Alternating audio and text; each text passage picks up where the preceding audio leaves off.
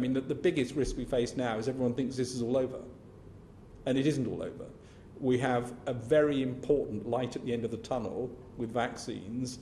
We've got a lot to do to roll out the vaccines. We've got a lot to do to make sure the vulnerable are protected. We're a long way off yet knowing how we can move it to the rest of the population that's dependent upon things like does the AZ vaccine get approved? It's not the time to suddenly say we relax everything. And if that happens, we will have a big surge.